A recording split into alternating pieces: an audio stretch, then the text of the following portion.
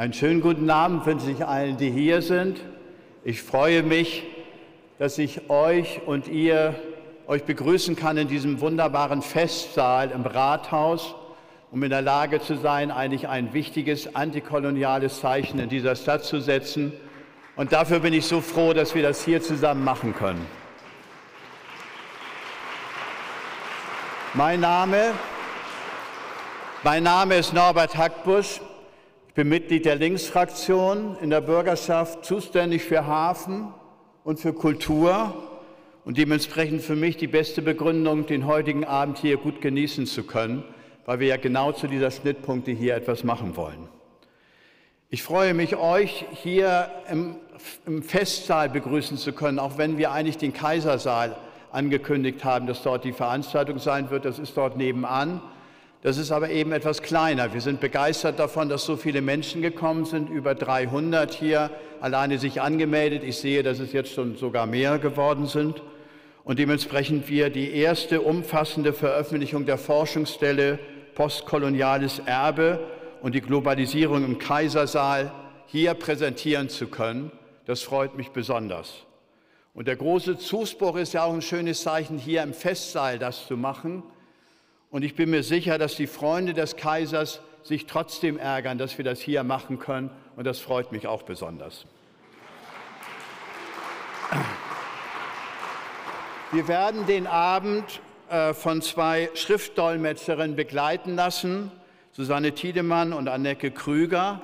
Die werden uns das hier darstellen und ich freue mich, dass wir eben auch in der Lage sind, diese bessere Teilhabe, die viel häufiger in dieser Stadt stattfinden sollte, hier euch anbieten und präsentieren zu können.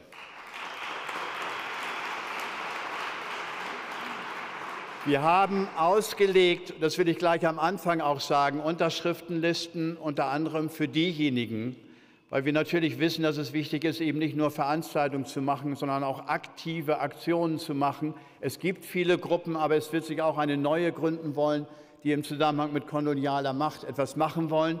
Dort am Büchertisch aus und draußen und vielleicht geht das auch noch rum, laden wir eben ein für eine neue Gruppe, die gerne alle Hamburgerinnen einladen wollen, an der Dekolonialisierung der Stadt mitzuarbeiten, sich gerne dort eintragen und eine neue aktive Gruppe eben auch dort zu bilden, die dort einiges unternehmen wird in der nächsten Zeit. Ich glaube, für uns alle ist völlig klar, die Bedeutung dieses Themas für Hamburg.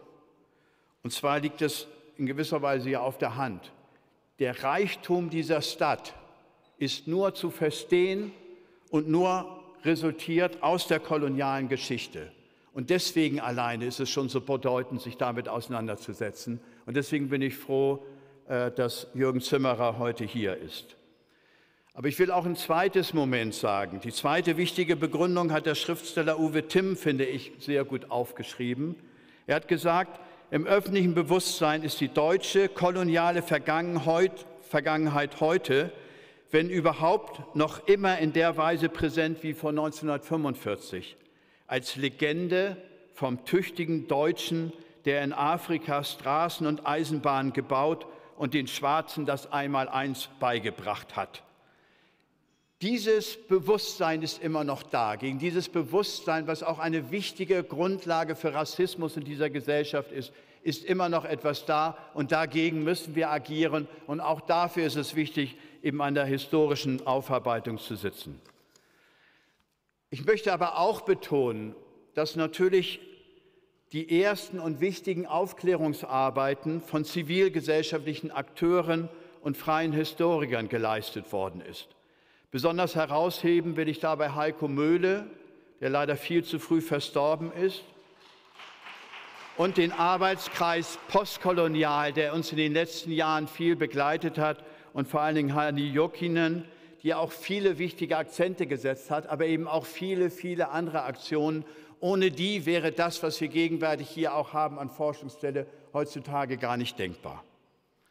Nämlich erst im Juli 2014 gab es eine Senatsdrucksache zum Thema Aufarbeitung des kolonialen Erbes und damit auch die Geburtsstunde der Forschungsstelle, deren Arbeit wir heute hier vorstellen können.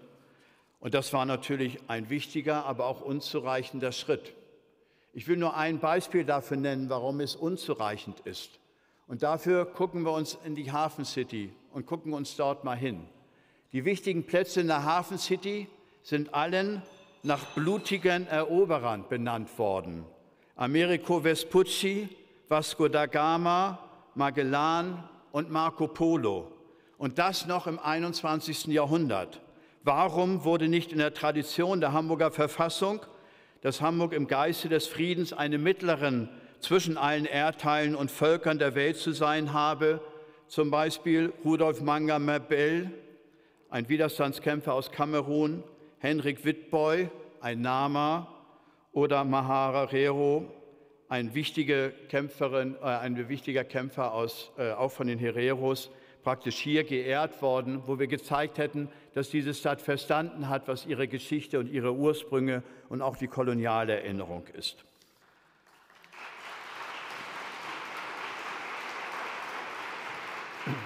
Bei aller Freude über die Forschungsstelle stellen wir fest, dass die realen Fortschritte in der Aufarbeitung bisher gering sind. Straßenumbenennungen hat es kaum gegeben. Das Bismarck-Denkmal wurde im alten Glanz, so wie es damals zur Bismarck-Verehrung eben auch äh, aufgebaut worden ist, wurde in dem Glanz wieder aufgebaut und dass es erst unter kräftigem Protest möglich war, dass es eine kritische Begleitung gibt, die immer noch nicht richtig begonnen hat. Aber das ist alles zivilgesellschaftliche Aktionen, die notwendig sind, dass überhaupt solche Sachen in Gange kommt. Und auch die Forschungsstelle ist erst in, auf den letzten Metern in den Haushaltsberatungen am Ende letzten Jahres wieder für zwei Jahre verlängert worden. Auch eine viel zu geringe Möglichkeit, eigentlich diese Sache aufzuarbeiten. Von daher ist mir das besonders wichtig, heute dieses Thema und, äh, praktisch präsentieren zu können. Es ist einfach angesichts der gegenwärtigen politischen Situation, wo nationalistische Positionen immer vordrängender wird, aber wir ja wissen, dass die Krisen dieser Welt, die Klimakrise oder die soziale Krise oder auch die Blockauseinandersetzung, die wir gegenwärtig haben, nur durch eine internationale Sichtweise gelöst werden kann und nicht in Nationalismen zurückgefallen werden kann.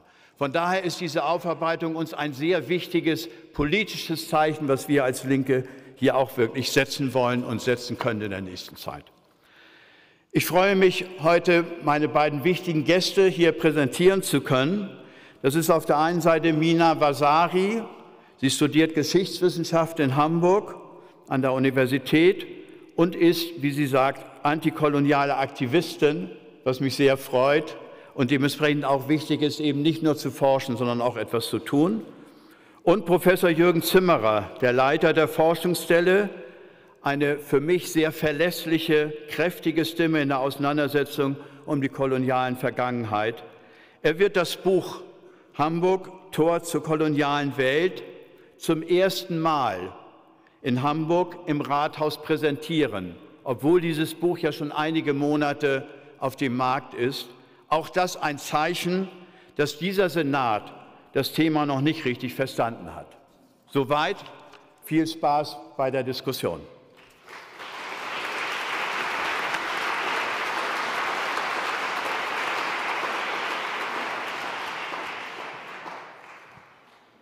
Hört man mich? Ja.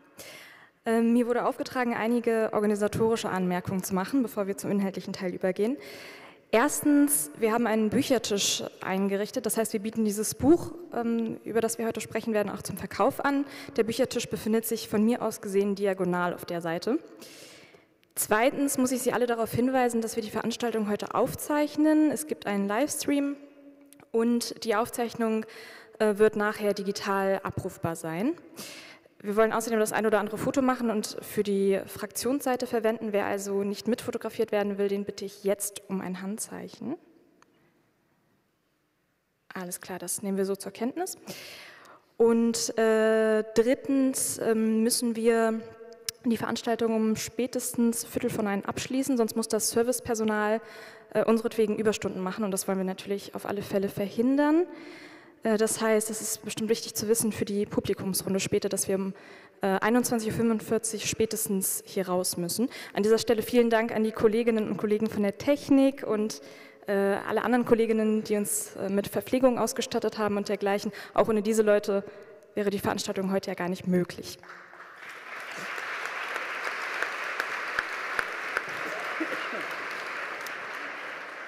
Ja, dann will ich einmal in aller Kürze das Programm für heute Abend vorstellen. Und zwar ähm, dieser Sammelband, um den es heute gehen soll, Hamburg, Tor zur kolonialen Welt, Erinnerungsorte der postkolonialen Globalisierung, ist, Herr Zimmerer, ich richte mich an Sie, ist äh, in, ähm, in sieben Abschnitte unterteilt, in, in fünf inhaltliche Abschnitte. Ähm, das sind Wirtschaft und Politik, Wissenschaft und Forschung, dann Kunst, Kultur und Gesellschaft. Äh, dann nennt sich ein Abschnitt Die Welt in Hamburg, Hamburg in der Welt und ein Abschnitt widmet sich den Denkmälern. Und äh, wir werden jeden Abschnitt einmal zumindest andiskutieren und dann mm, wird es am Ende eine Fragerunde mit Publikumsfragen geben, für die wir auf jeden Fall auch reichlich Zeit eingeplant haben. Genau. Ja, dann würde ich sagen, steigen wir ein. Herr Zimmerer, die Forschungsstelle, die Sie leiten, nennt sich Hamburgs postkoloniales Erbe, Schrägstrich, Hamburg und die frühe Globalisierung. Das heißt, man nimmt bereits im Titel explizit Bezug auf den Begriff der Globalisierung. Und die Globalisierung ist jetzt nicht erst seit gestern in aller Munde, deswegen denke ich, ist es sinnvoll, einmal innezuhalten und sich zu fragen, was wird heute überhaupt unter dem Schlagwort der Globalisierung verhandelt? Und ich kann da aus meiner eigenen Studienerfahrung in den Sozial- und Kulturwissenschaften davon berichten, wie gerne man von globalen Austauschbeziehungen spricht, von globalem Zusammenwachsen oder man spricht ganz vage von globalen Verflechtungen. Und dieser abstrakt geschichtslose und häufig auch vor Optimismus nur so strotzende Globalisierungsbegriff eignet sich so wunderbar dazu, eine sehr unangenehme Auseinandersetzung zu vermeiden, nämlich die Auseinandersetzung um die ökonomischen Abhängigkeitsverhältnisse, die diesem globalen Zusammenhang ja zugrunde liegen. Schließlich ist der Charakter der heutigen Globalität ein zutiefst asymmetrischer, ungerechter. Und dieses sogenannte globale Zusammenwachsen hat im Rahmen unter Bedingungen des bürgerlich-kapitalistischen Wirtschafts- und Gesellschaftssystems stattgefunden. Das ist eine Bedingung, die man nicht mal ebenso zur Randbemerkung der Geschichte erklären kann. Und Sie, Herr Zimmerer, gehören jetzt zu den kritischen Stimmen, die schon seit Jahren betonen, dass Globalisierung eben kein geschichtsloses Phänomen ist, dass sie nicht im luftleeren Raum stattgefunden hat und dass das heutige Weltsystem ein Produkt dieser frühen Globalisierung ist. Und Sie versuchen, die historische Forschung hier als kritisches Interventionsmoment zu nutzen, was ja alles andere als selbstverständlich ist. Nun ist gesellschaftlicher Fortschritt ja leider kein linearer Prozess und obwohl Sie schon so lange kritisch historisch intervenieren, müssen Sie, also meinem Eindruck nach, immer wieder bei Null anfangen und müssen Diskussionen, müssen Diskussionen führen, die fast schon antiquarisch anmuten. Zum Beispiel, wenn Sie auf Beiträge reagieren, die die vermeintlich positiven Seiten des Kolonialismus hervorheben wollen. Und solche Debattenbeiträge gibt es ja bis heute. Oder da gibt es bis heute nicht wenige Stimmen, die die kolonialen Verflechtungen Deutschlands für unbedeutend erklären, da angeblich kurz und schmerzlos. Wie geht es Ihnen damit, dass Sie bestimmte Debatten schon seit Jahren in Dauerschleife führen?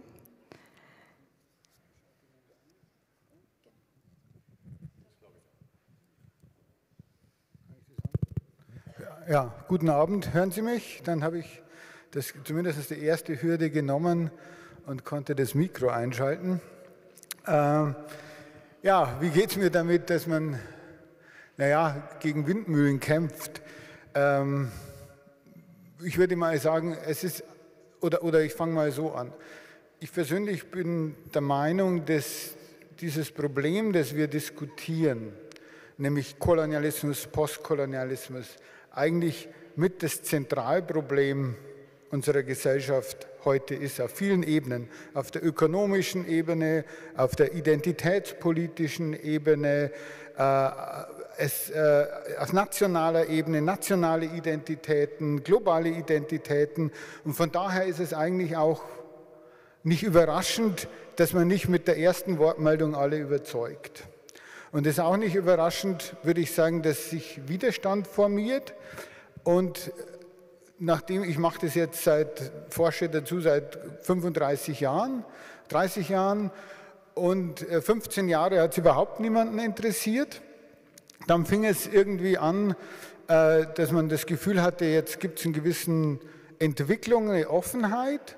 Und jetzt würde ich sagen, seit zwei, drei Jahren formiert sich der Widerstand dagegen. Und es zeigt ja trotzdem, dass man was bewegt, weil sonst gäbe es ja auch keinen Widerstand. Und äh, dass es Widerstand gibt, es ist übrigens auch ein internationales äh, Phänomen, ist jetzt nicht nur auf Deutschland bezogen, heißt ja, dass man allmählich vordringt in, in dieses Kern der Debatte. Von daher wiederhole ich das gern noch 20 Jahre lang, äh, wenn, wenn, das, wenn das notwendig ist. Und weil Sie das mit der Globalisierung angesprochen haben und auch mit dem Titel der Forschungsstelle, das ist etwas, was mich immer gestört hat, dass Globalisierung diskutiert wird als ein gegenwärtiges Phänomen, 30 Jahre oder mit der Erfindung des Containers. Und im Hafenmuseum muss man Container und dann ist alles gut. Und als Historiker, als Historiker der europäischen Expansion, wie immer man es nennen will, habe ich das immer nicht verstanden, warum man denkt, die Globalisierung sei etwas Neues und denke jetzt eigentlich, dass auch diese Begrifflichkeit Kolonialismus, europäische Expansion weniger zielführend sind wie der der kolonialen Globalisierung. Es gibt eine koloniale Globalisierung, die beginnt meiner Meinung nach im 15. Jahrhundert. Da kann man äh, äh, lange darüber diskutieren. Mit der ersten Weltumrundung im 16. Jahrhundert beginnt sie auf jeden Fall, weil der Globus ab da als Globus erfahrbar ist. Und ich glaube, das erlaubt uns nämlich die Phase, die wir jetzt haben, um das geht es ja. Der, wenn man sich mit Geschichte beschäftigt, geht es ja immer auch um die Gegenwart. Meiner Meinung nach geht es auch sehr viel um die Zukunft, weil wir die fassen können, weil wir sind jetzt als Welt im Übergang von der kolonialen zur postkolonialen Globalisierung. Das ist, war jetzt ganz eindeutig, hätten wir vor einem Jahr uns getroffen, gar kein Problem. Jetzt mit dem Ukraine-Krieg und allen möglichen Entwicklungen muss man jetzt wieder neu nachdenken, was das bedeutet. Aber im Grunde sind wir in diesem, in diesem dieser Übergang. Und ich glaube, die Globalisierung ist ein Begriff, der das wertneutral beschreibt.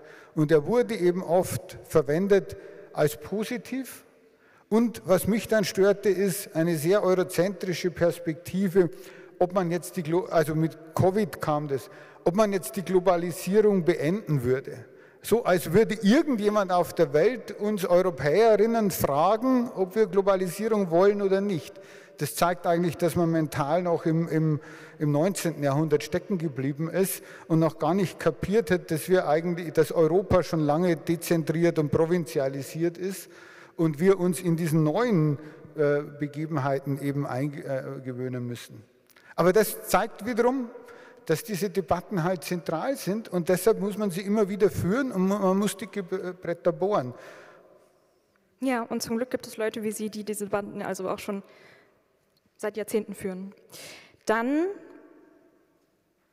widmen wir uns einfach dem Konkreten und schauen wir uns das Buch an. Ich hatte ja schon gesagt, der erste Abschnitt das ist Wirtschaft und Politik. Und es passt hervorragend, dass wir im Rathaus sitzen. Das Rathaus ist nämlich seit 1906 architektonisch mit der Handelskammer verbunden. Und in dieser physisch-baulichen Verbindung manifestiert sich doch auch ein gesellschaftliches Verhältnis. Und zwar ist ja eine zentrale Erkenntnis aus diesem Buch, dass die kolonialen und die imperialen Interessen des Hamburger Kaufmannskapitals die politische Agenda dieser Stadt ganz entscheidend geformt haben, aber auch in der Agenda des Deutschen Reiches Berücksichtigung fanden. Das heißt, auf der Sachebene lässt sich eine ganz tiefgreifende Verzahnung von Ökonomie und Politik feststellen. Herr Zimmerer, was gibt es für konkrete Beispiele für das enge Verhältnis zwischen realpolitischer Macht und kolonialen Unternehmerinteressen in Hamburg? Ja, also das Vielleicht sollte ich etwas vorausschicken. Ich präsentiere hier die Forschungsstelle, ich präsentiere hier den Band, aber ich bin nicht die Forschungsstelle, das reduziert sich nicht auf mich. Ich habe sehr viele Kolleginnen und Kollegen, die mitarbeiten und dieses Buch hat über 30 Autoren und Autorinnen, die alle mitgeschrieben haben und ich habe jetzt den Vorteil, dass ich deren Forschungsergebnisse präsentiere und äh, da klug daherreden reden kann. Mir ist es wichtig zu sagen, ich fasse das zusammen. Ich bin eigentlich nur, nur das Sprachrohr für, für die Forschungen vieler sehr engagierter äh, Kolleginnen und Kollegen. Und äh, schauen Sie sich ruhig das Inhaltsverzeichnis äh, einfach mal an, um auch zu sagen, äh, wer da alles mitgearbeitet hat, weil ich komme jetzt gleich zu so einem Ergebnis, nämlich äh, Handelskammer, Wörmann, Wirtschaft. Das ist nicht meine Forschung, ist ganz zentral von meinem Mitherausgeber Kim Totzi, der jetzt ja hier irgendwo im Saal sitzt. Ich sehe ihn leider, man sieht überhaupt eigentlich nichts wegen der, wegen, wegen der, der, der Scheinwerfer. Und dann halt herausgearbeitet hat, dass tatsächlich die Entscheidung, des Deutschen Reiches zur Kolonialmacht zu werden, nicht unwesentlich von Hamburg, vom, von der Handelskammer aus gesteuert wurde. Und übrigens haben wir dieses Jahr ein schönes erstes äh, Jubiläum. Das ist nämlich im Juli, werden es genau 140 Jahre dieser, dieser Denkschrift. Und ich bin gespannt, was hier an Gedenkarbeit äh, eben gemacht wird, weil die Handelskammer jetzt wieder sehr zögerlich ist, äh, was die Aufarbeitung der eigenen Geschichte angeht. Und natürlich ist Kolonialismus zum großen Teil Wirtschaft und wirtschaftliche Interessen. Deshalb geht man als Europäerin eigentlich als Macht zunächst mal in die Welt, weil man Rohstoffe will, weil man, äh, weil man äh, Siedlungsland will, weil man Absatzmärkte will. Das heißt, es ist, es ist die wirtschaftliche Dimension. Dass die, da die Handelskammer wiederum mit, äh, mit, mit, dem Rathaus und mit der Politik zusammenhängt, ist das im Grunde ein, äh, ein Netz, das hier Bismarck, der ja auch vor den Toren der Stadt im Grunde residierte, dazu brachte, äh, Deutschland zu ähm, Kolonialmacht äh, zu machen. Und zwar, weil Hamburger Familien, Reedereien, Kaufmannsfamilien ganz konkrete ökonomische Interessen hatten. Also das lässt sich eigentlich gar nicht leugnen und es ist, ist ganz handfest. Zweitens, das sagte Norbert Hackbusch in seiner Einführung ja schon, äh, er sagte, als ich als er hier kam, ah, ich glaube, da sind jetzt keine kolonialen Spuren hier oder nicht viele. Und ich sagte, das Ganze ist eine koloniale Spur. Das Ganze ist ein kolonialer Erinnerungsort, weil einfach follow the money. Schau dir doch das Geld an. Wo wird es verdient? Mit was wird es verdient? Wie wird es investiert? Und dann kommen wir allmählich in, in dieses Zentrum dieser die, diese, diese Aufarbeitung. Aber das ist ganz, äh, ganz evident, dass hier Hamburg und die Wirtschaft hier eine zentrale Rolle spielt und sich dann eben das Bürgertum dann eben auch, also diese wirtschaftlichen Interessen führt dann dazu, dass, das wissen Sie ja alle, im Grunde äh, statt einer Universität eben zuerst ein Kolonialinstitut äh, gegründet äh, wird. Interessanterweise haben wir dieses Jahr hier auch ein Jubiläum, da sind es nämlich 115 Jahre Kolonialinstitut. Bin ja auch gespannt, was äh, an Gedenkfeierlichkeiten stattfinden wird. Aber dass, dass dann das Kolonialinstitut da ist, weil man die Kaufleute über, zwar nicht überzeugen konnte, dass man eine Universität braucht für Bildung, für, also Geisteswissenschaften und so ein Quark, sondern handfest zur Ausbildung von, von Kaufleuten im sogenannten Überseehandel. Das konnte man eben überzeugen und auch, auch da ist es da. Dann gibt es natürlich die Museen der Stadt, vom, vom Völkerkundemuseum, Museum für Kunst und Gewerbe etc., die ja, dies gibt, weil hier Geld ist, weil Geld, das irgendwo in Südafrika, in Afrika verdient wird, hier dann wieder zu, zu Stiftungen führt, also zu, äh, dass das Geld übergeben wird, womit wieder Kunstwerke angekauft werden können, sodass sich hier eigentlich ein Netz auftut, dass ich äh, der Meinung bin, dass dieser Kolonialismus ist eigentlich diese, die DNA dieser Stadt. Das ist überall. Und das kann man eigentlich auch gar nicht, gar nicht jetzt rausfiltern und in einzelne äh, Portionen, das ist kolonial und das ist nicht, sondern das geht in der Zeit eigentlich ineinander über, weil Hamburg den Reichtum und die Position, die es hatte, gar nicht gehabt hätte, ohne diesen diesen, diesen Über, Über, Überseehandel. Ich will nur zwei Punkte herausgreifen, die Sie gerade ansprachen. Zum einen fiel der Name Würmann und den halte ich für unglaublich zentral.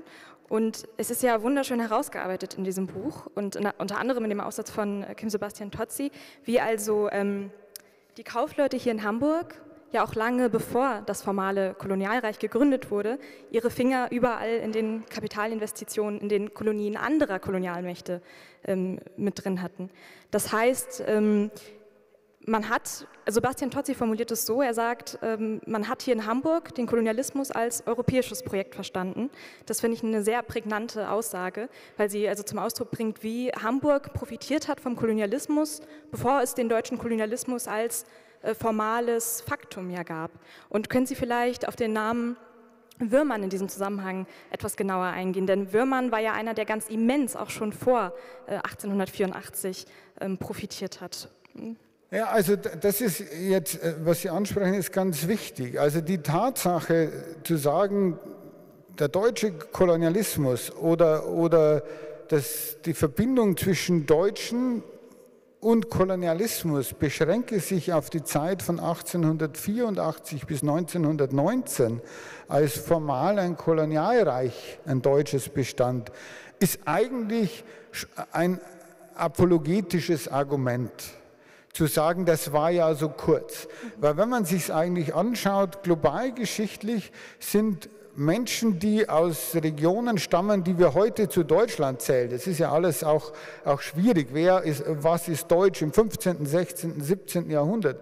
Aber wenn man jetzt mal sagt, was man gemeinhin als Deutsch verstehen würde, aus diesen Regionen, die sind von Anfang an in diesem, in diesem kolonialen Unternehmung äh, äh, eigentlich involviert. Und da fangen wir eben erst an, das im Grunde zu äh, erforschen, weil wir uns so lange, also so lange haben wir es, zuerst haben wir es komplett ignoriert und dann haben wir uns auf das formale Kolonialreich äh, beschränkt. Das endet ja auch nicht äh, 1919. Also man muss sich ja vorstellen, das, das, ist auch der Titel Tor zur Welt, Tor zur kolonialen Welt, diese Selbstbeschreibung Hamburgs, es sei das Tor zur Welt. Diese Welt muss, ist zwischen 1500 oder, und, und 1960 ungefähr ist eine koloniale Welt. Wenn Sie handeln, handeln Sie entweder mit Kolonien, mit Kolonialmächten, mit gerade unabhängig gewordenen Staaten, postkolonialen Staaten. Sie handeln mit kolonialen Gütern, vielleicht sogar mit Menschen. Äh, Stichwort transatlantischer Sklavenhandel. Aber Sie können gar keinen Welthandel machen, der nicht kolonial ist. Das ist alles kolonial. Und das äh, im Grunde muss man einschließen. Ich glaube, Würmann, da müssen wir jetzt wirklich, wer müsste Herr Totzi hier oben sitzen, Würmer, der übrigens seine große Studie erscheint im Frühjahr zu Würmern, da können Sie alles auf 600 Seiten nachlesen, was ich jetzt kurz äh, in meiner Laiensicht zusammenfasse. Wörmann ist zentral, aber bei weitem nicht der einzige. Die Familie Wörmann hat insofern ist deshalb immer im Blickpunkt, weil es sie bis heute noch gibt. Ja, weil sie noch zu fassen ist und das Afrika-Haus etc. Auch andere Rollen, auf die wir vielleicht heute noch, gerade heute noch kommen, den Genozid an den Herero Nama. Aber Sie können auch Godefroy nehmen. Sie können die ganzen Kaufleute nehmen, die quasi im, im, äh, im 19. Jahrhundert in der Südsee agierten. Die bilden alle im Grunde dieses, dieses Netz an Kaufleuten, die diesen Kolonialismus fördern und die einen, einen ökonomischen Kolonialismus wollen, ob die alle formale Kolonialherrschaft wollen, da kann man ja äh, streiten. Aber, aber dass sie eine Förderung wollen des, des, des ökonomischen Kolonialismus, ist eigentlich klar. Und da gibt es eben, eben äh, viele Kaufleute, viele Firmen gibt es nicht mehr, Wörmann gibt es noch, ist so ähnlich wie Hagenbeck, die auch bis heute eben als Familie existieren man muss jetzt fairerweise auch sagen, dass die Familie Wörmann oder Wörmann zumindest unsere Forschungen nicht behindert, wie es, wie es Hagenbeck macht, sondern die, die Archive dann zumindest zum Teil öffnet, um dort Forschungen äh, zu erlauben. Währenddessen bei Hagenbeck kommt man ja gar nicht rein. Ich würde unglaublich gerne weiter über die wirtschaftsgeschichtlichen Grundlagen sprechen, aber wir müssen leider weiterziehen, sonst äh, werde ich, glaube ich, gar nicht fertig mit meinen Fragen heute. Ähm, wir machen einen mentalen Sprung an einen ganz anderen geografischen Ort, nämlich schauen wir uns jetzt die Universität an. Und der Namensgeber des Hauptcampus, das ist Werner von Melle, war ab 1900, heute würde man sagen Wissenschaftssenator und hatte Interesse an einer eigenen Universität für die ja, schon bedeutende Kolonialmetropole Hamburg und äh, hat sich um die Finanzierung einer solchen Universität gekümmert, beziehungsweise um die Finanzierung der Vorläuferinstitutionen. Und das Geld, das von Melle über diverse Schenkungen zusammengesammelt hat, wurde damals schon von der sozialdemokratischen Presse als anrüchig, als schmutzig bezeichnet. Herr Zimmerer, plakativ gefragt, auf welchen schmutzigen kolonialen Fundamenten baute denn die Universitätsgründung auf? Ja, äh, also in der, in der Tat ist eigentlich die, die Gründungsgeschichte also sehr, sehr spannend. Äh, weil, weil es eigentlich auch zeigt, wie diese, diese globale Vernetzung eigentlich funktioniert. Weil der von Melle möchte gerne Universität, aber hat kein Geld. Die Kaufleute sind eigentlich nicht bereit, das Geld zu geben für eine Universität. Und dann äh, wird eine wissenschaftliche Stiftung ge äh, gegründet. Das ist von Melles Idee, weil er, und also es, es könnte auch eine Netflix-Serie werden, weil, weil er jemanden kennt. Und, und, und wenn man jetzt wenn man jetzt von Hamburg weggeht nach Südafrika, dann sind wir in der Zeit von Cecil Rhodes. Der ist ja so, sozusagen der, der Erz, Imperialist, den kennen die meisten wahrscheinlich, Cape to Cairo, also diese Figur, die auf, in Südafrika steht, in, in der Kapkolonie und in Kairo diese Eisenbahn. Also britischer Imperialist, der als Premierminister äh, der, der, der, der Cape-Kolonie, also zuerst im Diamantenhandel reich wurde und dann im Grunde den ersten und dann den, den zweiten Burenkrieg mit verursacht, in dem dann wegen der Goldvorkommen im, im Grunde dann der, der, der, der, südafrikanische Krieg ausbricht, was dann zur Gründung des modernen Südafrika führt und bis zur Apartheid im, im, im Grunde. Dieser Cecil Rhodes hat einen engen Mitarbeiter namens Alfred Beit und dieser Alfred Beit ist ein Kaufmannssohn aus Hamburg der eben äh, um, äh, zuerst nach, äh, äh, nach Holland geht, um das Diamantenbusiness zu lernen, dann nach Südafrika und eben auch unglaublich reich wird. Heute würde man sagen, das ist ein Oligarch, das waren Oligarchen, die eben über diesen Rohstoffhandel sehr reich wurden. Dieser Byte ist ein Schulkamerad von von Melle.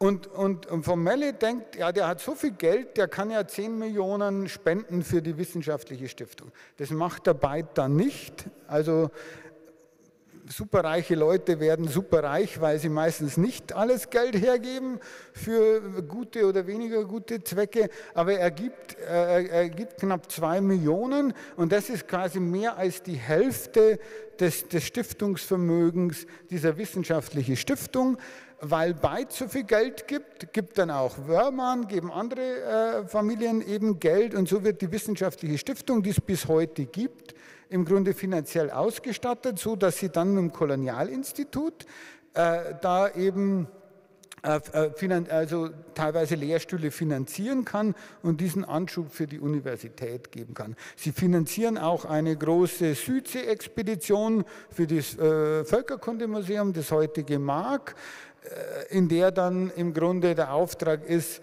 bestimmte Regionen leer zu sammeln, sodass nur Hamburg eben Objekte hat und teilweise, glaube ich, sind die Kisten bis heute nicht ausgepackt, was hier alles 1907 nach Hamburg, äh, Hamburg gebracht wurde. Und dieser Byte finanziert es. Und wenn man sich das anschaut, dann kommt man eben zu dem, dass man sagt, man muss sich das Geld anschauen.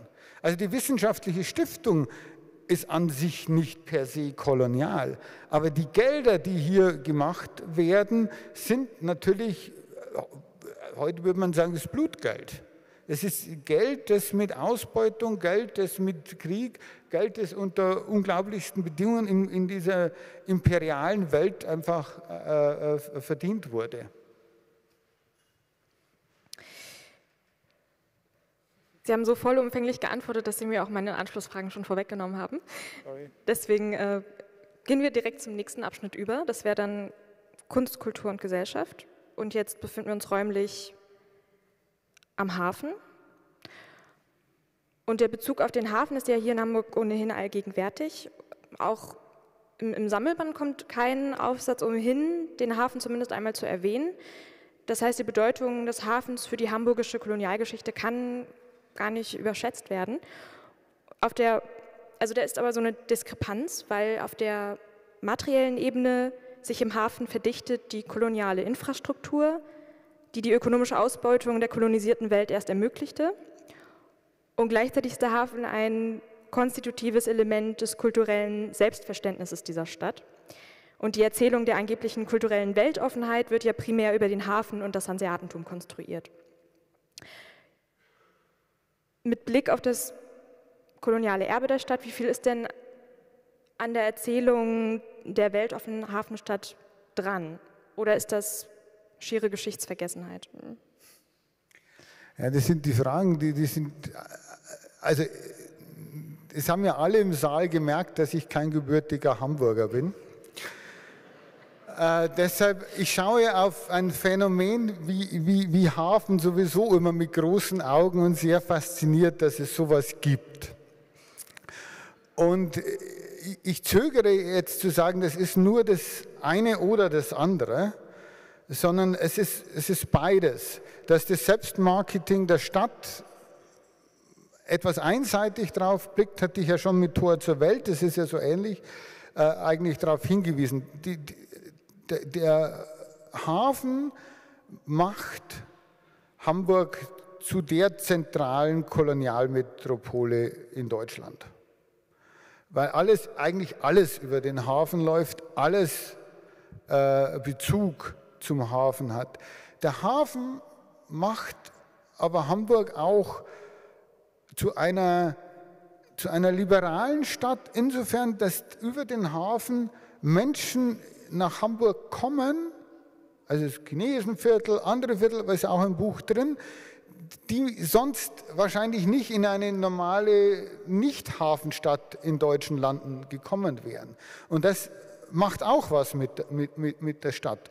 Und die Aufgabe einer modernen Forschung ist eben beides zu berücksichtigen und nicht zu sagen, das ist jetzt nur das Liberale, weil diejenigen Kreise, die sich die Liberalität selbst auf die Fahnen geschrieben haben, vielleicht gar nicht unbedingt die liberalen Elemente der Stadt waren, wenn man sie, wenn man sie so betrachtet, sondern das ist dann, dann eher eben, eben diese, diese Viertel, wo sehr früh auch, auch äh, Menschen aus Afrika hier waren, sich sehr früh organisierten, Selbstorganisation, schwarze Selbstorganisation in den 20er und 30er Jahren über, über in, in Hamburg stattfindet, was eben auch dazu gehört. Also ich finde den Hafen super spannend, weil äh, Norbert Hackbusch auch äh, gesagt hat, was, was nicht erreicht wurde, auch seit 2014.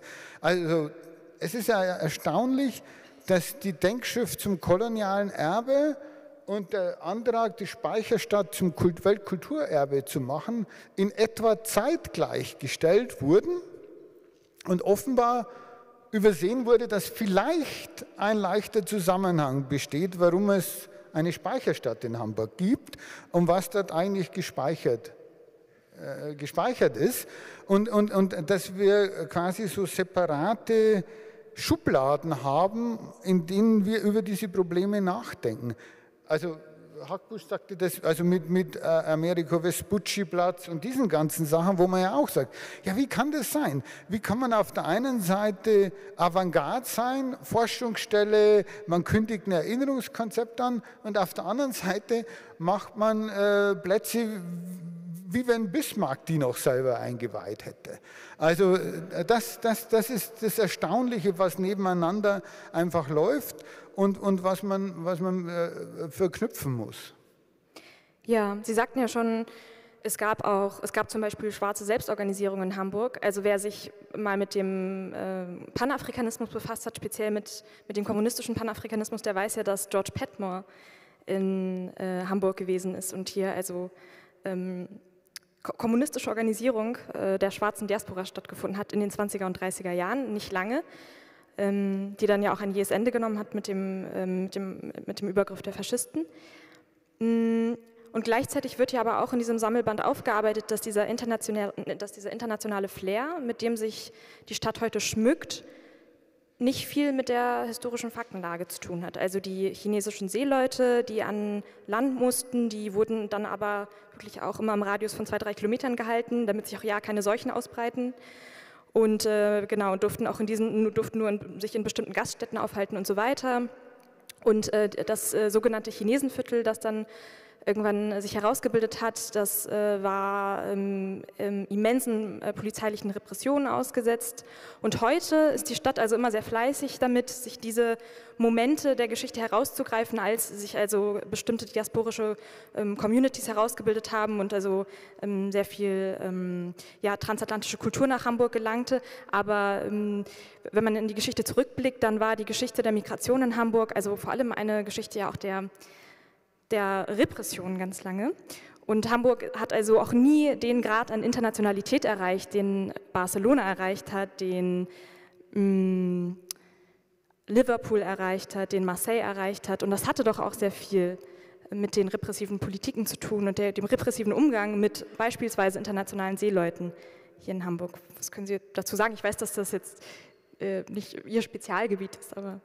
Ja, aber ich meine, das stimmt alles, aber man muss sich, also, also das Problem, wenn man, wenn man so ein Buch macht, das Problem, wenn man, wir machen jetzt eine App dazu, das Problem, wenn man das zusammenfasst, ist, das ist überhaupt ein Problem der Kolonialgeschichtsschreibung, ist die, die, die, die Repression ist so viel stärker und so viel stärker greifbar als der Widerstand dagegen. Das, wenn man die Geschichte nur als eine Geschichte der Repression erzählt, dann marginalisiert man die Marginalisierten ein zweites Mal. Das ist, das ist einfach ein Bias, da kommt man schwer draus, weil natürlich auch die Quellen eindeutig immer aus der, von, den, von den, äh, den Mächtigen geschrieben werden und nicht den, den, den ich will nicht sagen Ohnmächtigen, den weniger Mächtigen, den Drangsalierten.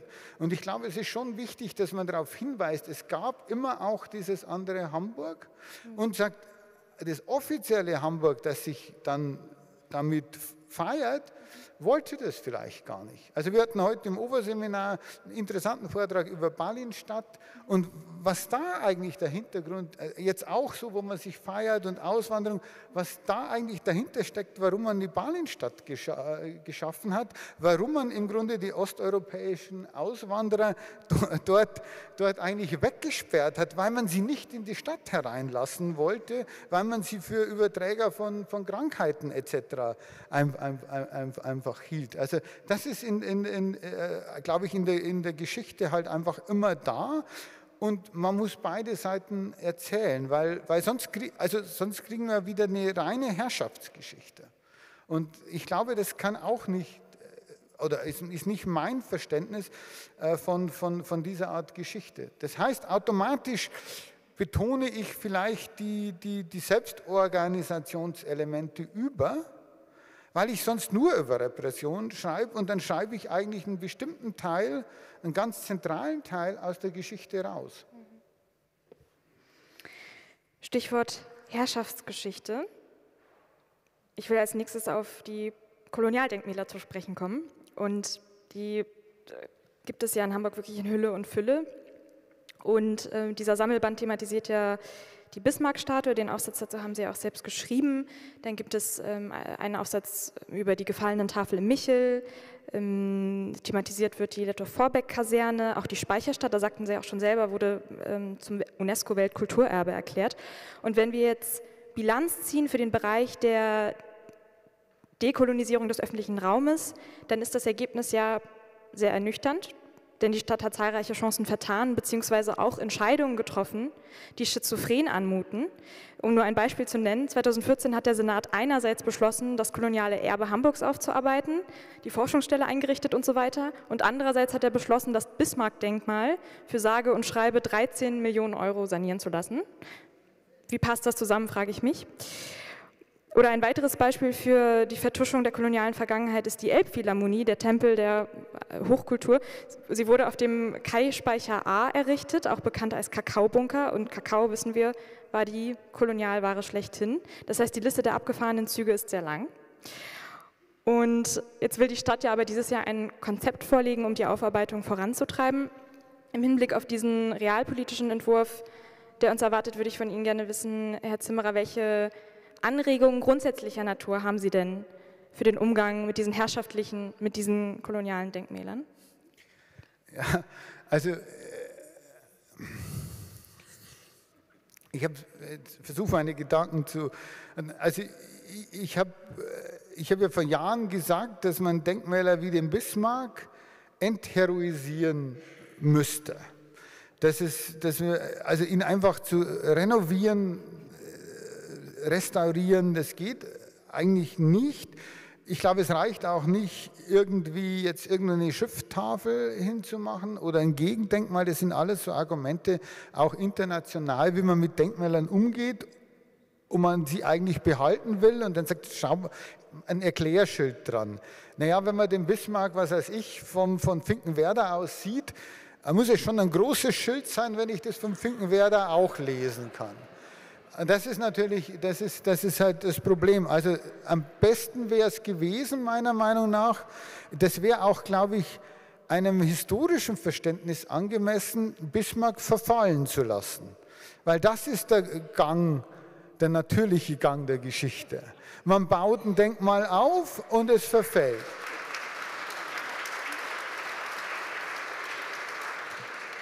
Dann hätten wir auch noch lange was davon gehabt, weil so schnell, also auch sprengen bin ich dagegen, sondern zu sagen, äh, Geschichtsbilder sind äh, gesetzte äh, Geschichtsbilder.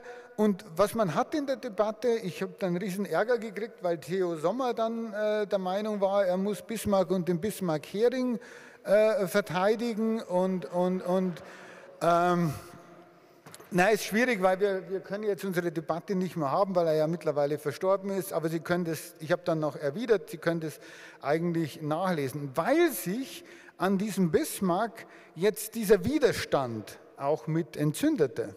Weil sehr viele Leute sich angegriffen fühlten durch den Vorschlag, Bismarck verfallen zu lassen. Jetzt kann man dazu stehen, also kann man jetzt doof finden oder, oder, oder, oder, oder nicht. Viel interessanter wissenschaftlich ist die Frage, warum wird Bismarck zum Symbol eines Streites um diese Deutung? Und meine Interpretation war, dass das etwas damit zu tun hat, wer das Sagen hat, wie man den öffentlichen Raum gestaltet. Und das Black Lives Matter, Roads Must Fall, alle diese Initiativen, die ja auch die Schablone äh, mit abgeben für die Debatte in Deutschland, es eben heißt, dass, äh, äh, dass Menschen, die anders aussehen als ich, ein anderes Geschlecht haben als ich, ich definiere mich als Mann, da sage ich jetzt, nur damit es da kein Missverständnis gibt, plötzlich auch mitreden wollen. Und dass es eigentlich interessant ist, was geschieht mit Bismarck, aber auch wer darf mitbestimmen, was mit Bismarck geschieht. Und dann sind wir plötzlich bei der Frage, wer und was ist Deutsch? Wer oder was entscheidet mit über so identitätsstiftende Marker, wie es diese Denkmalstruktur eigentlich ist? Jetzt muss man mal schauen, wie da mit Bismarck umgegangen äh, wird, weil es kann auch nicht das sein, dass ich jetzt sage, was damit gemacht äh, wird, weil das, das macht es auch, macht schon ein bisschen besser, als was jetzt ist, aber macht es nicht richtig gut. Ne?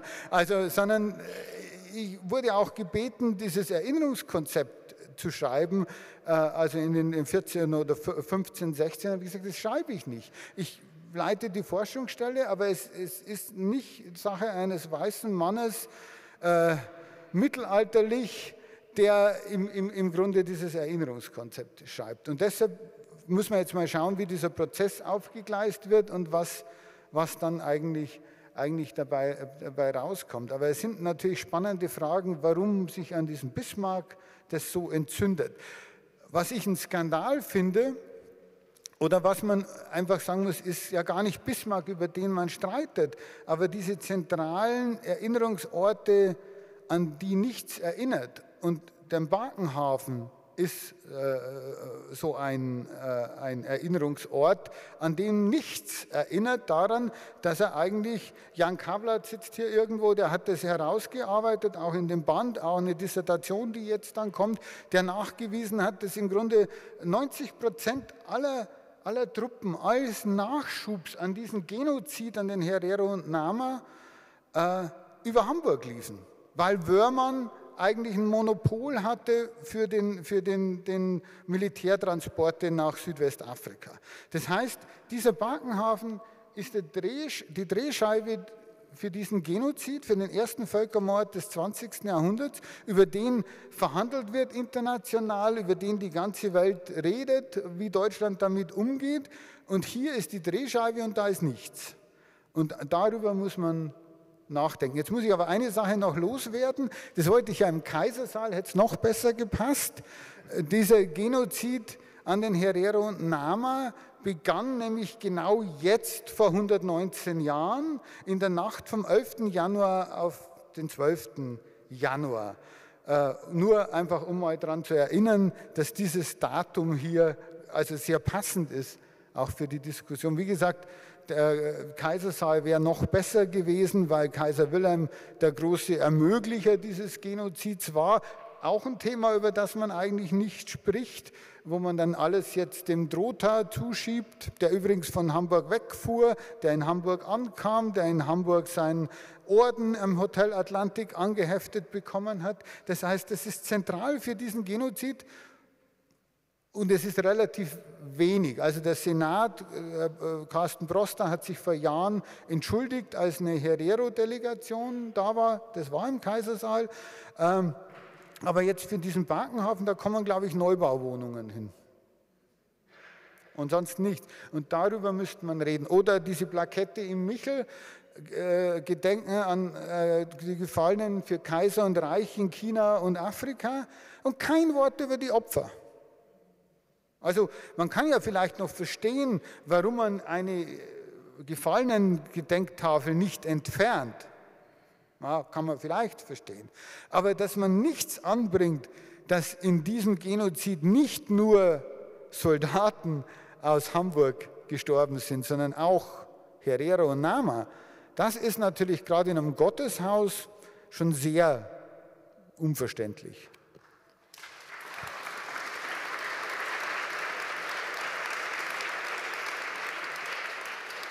Sie sprachen ja gerade über den Barkenhafen. Ich fand das ein sehr prägnantes Beispiel, ähm, weil ja tatsächlich auch äh, Truppen, die nach China geschickt wurden, von dort aus verschifft wurden. Und ähm, also man muss sich mal vor Augen führen, dass also deutsche Reedereien dann sogar noch am, am Genozid und an, an, an, allen kolonialen Verbrechen, in denen Deutschland, wo Deutschland irgendwo seine Hände im Spiel hatte, ähm, profitierten.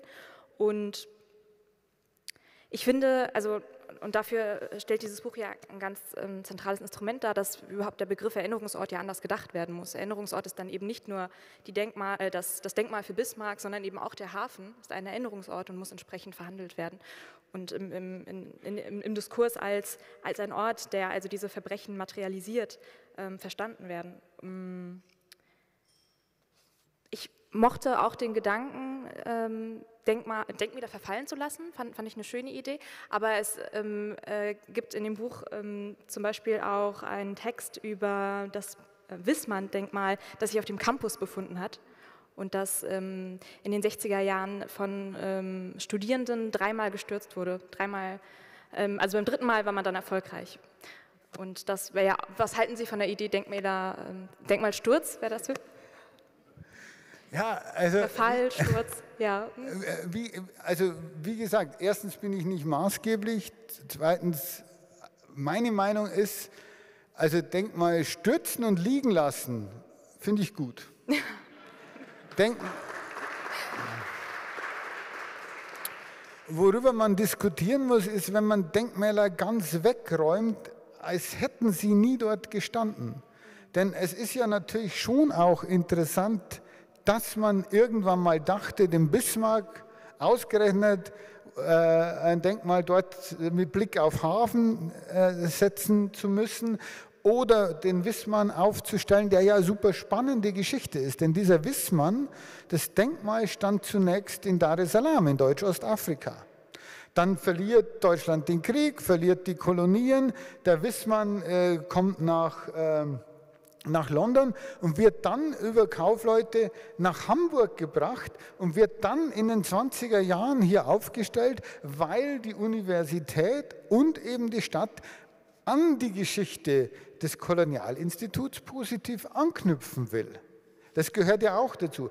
Und dann wird eben 68 im dritten Anlauf gestürzt, wobei mich das immer fasziniert, vor allem die ersten zwei Anläufe, weil es gibt ja auch Bilder, wo die Studierenden alle schön mit äh, Anzug und Krawatte da an, an, an den Wissmann ziehen und dann kommt die Polizei und sagt, das geht nicht und dann gehen die alle heim beim ersten Mal. Und das finde ich also auch also einfach interessant. Aber tatsächlich ist natürlich wichtig, der Denkmalsturz, der erfolgte, ist natürlich wichtig, ein, ein ganz wichtiges Element in, in, der, in der Geschichte der Auseinandersetzung mit dem Kolonialismus. Das heißt, von der Gründung des Kolonialinstituts über den Sturz des äh, Wissmann-Denkmals bis zur Gründung der Forschungsstelle könnte man ja auch einen Bogen spannen und sagen, so ändert sich eben die, der Umgang der Universität mit Kolonialismus, was ja ein eigenes Thema ist und keineswegs ein Ruhmersblatt,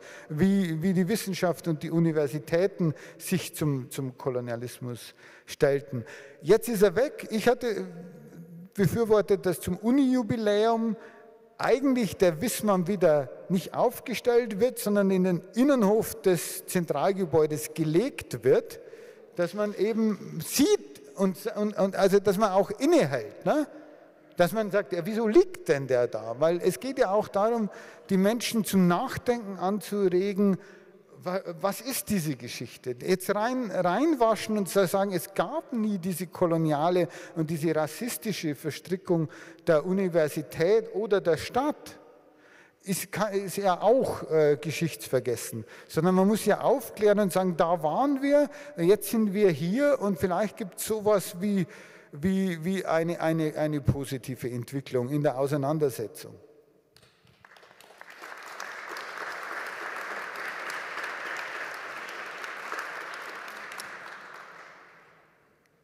Herr Zimmer, ich äh, finde, dass dieses Buch eine ungemein wichtige Grundlage schafft, um also die kolonialen und imperialen Grundlagen der kapitalistischen Globalisierung anhand von physischen Orten in der Stadt aufzudecken. Und jetzt gibt es ja neben der Forschungsstelle noch den Beirat, äh, der von der Stadt ins Leben gerufen wurde, den Runden Tisch. Dann gibt es zahlreiche zivilgesellschaftliche Initiativen und Organisationen ähm, rassifizierter und diasporischer Communities. Und wie könnte denn jetzt in Anbetracht der politischen Vorlage, die uns äh, hoffentlich dieses Jahr erwartet, eine Zusammenarbeit all dieser Akteure aussehen? Also haben Sie da eine Utopie für die Zukunft, ähm, wie man an einem Strang ziehen könnte? Mhm. Naja, also das klingt so, als gäbe es keine, äh, als, als wären das völlig geschiedene Gruppen, das sind sie ja das sind sie ja eigentlich nicht. Also ich glaube, unsere, unsere Aufgabe ist, ist einfach eine andere mit anderen äh, Anforderungen als, als, als, als wissenschaftlicher Dienstleister. Und der wissenschaftliche Dienstleister sind wir eigentlich für alle, die nachfragen. Es fragen nicht alle nach. Das muss man auch sagen. Das hat vor allem zu tun, was mich wundert, dass also gerade äh, städtische Institutionen durchaus verhalten sind im, im, im, im, im Nachfragen. Mhm. Also wo man sagt, die Expertise, die wir erarbeitet haben und weiter erarbeiten, das ist ja eigentlich nur ein Zwischenstand oder, oder ein erster Aufschlag, würden wir ja gerne einspeisen. Es wird aber von denen, wo ich denke, die müssten mal externes Wissen einspeisen, nicht nachgefragt. Ich glaube, das ist nicht so viel anders von, von, von migrantischen postkolonialen Gruppierungen, die erzählen, dass sie auch nicht nachgefragt werden. Also da scheint es die Tendenz zu geben, so eine Institution kann am besten alles selbst. Und, und, und, und, und, und meine Utopie wäre, dass sich alle, die an dem Thema arbeiten, aus ihren unterschiedlichen Perspektiven einbringen, wenn da ein neues deutsches Hafenmuseum gebaut wird. Oder wenn im, im Mark eine, eine Benin-Ausstellung erarbeitet wird und 300 Meter weiter in der Forschungsstelle seit vier Jahren ein deutsch-nigerianisches äh, Forschungsprojekt zu den Benin-Bronzen läuft und ich zufällig im Museum dann jemanden treffe, der die Benin-Ausstellung macht und sagte, er hätte nicht gewusst, dass wir auch an sowas arbeiten, dann denke ich mir, ist vielleicht auch, also da, da, ist Luft nach oben für Synergieeffekte, um zu sagen, ja, es gibt ein wissenschaftliches äh, Grundlagenwissen, das wir auch äh, versuchen zu erarbeiten, mit Wissen aus den ehemaligen Kolonien. Also wo immer es geht, also in, in dem Nigeria-Projekt war es mit, mit äh, Tansania ein Projekt, wir hatten mit Namibia ein Projekt, wo wir immer sagen, dass wir Doktorandinnen oder Künstlerinnen und Kolleginnen dauerhaft oder nicht dauerhaft, längerfristig in unsere Projekte einbinden, weil wir auch vermeiden wollen, was mittlerweile en vogue ist, zu sagen, ja, wir machen ein Projekt und dann fliegen wir mal für zwei Tage einen Kollegen aus Dar es Salaam oder aus Windhoek ein und dann haben wir uns schon ausgetauscht. Sondern zu sagen, nee, nee, wir wollen, wir wollen die möglichst dauerhaft in den, im Team haben, weil das den notwendigen Perspektivwechsel automatisch ist ganz interessant, automatisch hervorbringt, wenn, wenn äh, Kolleginnen dabei sind, die eben eine ganz andere Erfahrung machen, auch mit dem Phänomen Kolonialismus. Das Problem dabei ist, das ist teuer. Also gerade diese Art Forschung, auch wenn Sie es nur sagen über Austausch, die Reisekosten sind bei globalen Themen einfach, einfach ein Killer. Und da, ist, da sind wir einfach, einfach hoffnungslos unterfinanziert. Ich will jetzt gar nicht jammern. Ich bin sehr dankbar, dass wir für zwei Jahre jetzt überwintern können. Ja, um zu hoffen, dass irgendwas irgendwann dies, mit, mit, mit dieser weltpolitischen ja, Lage, die wir haben, irgendwie wieder rauskommt, dass wir vielleicht gerade jetzt mehr globale Forschung brauchen und nicht weniger. Und dass man dann eben sagt, wir können weitermachen, aber dann gehört eben dazu, dass wir Fellowship-Programme etc. haben, um dauerhaft dieses Wissen einzubinden. Und meine, meine, meine Utopie wäre, dass wir das mit, mit, mit wissenschaftlichen Kolleginnen machen, dass andere das mit künstlerischen Kolleginnen machen, dass man mit, den, mit dem Wissen, das hier vor Ort ist in postkolonialen Initiativen, uns zusammensetzen und dann die städtischen Akteure beraten.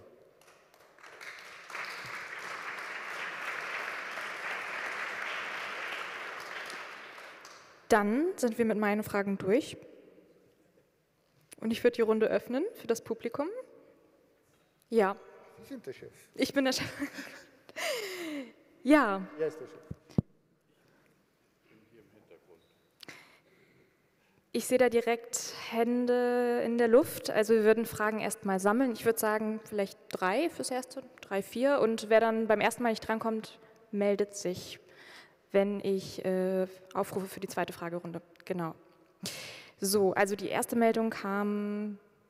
Wir sehen das nicht so richtig. Wir sehen das nicht so richtig, nein, aber ich würde sagen, da vorne, äh, dritte Reihe, vierte Reihe. Ah ja, hallo. Ja, ich habe eine Frage äh, an Herrn Zimmerer.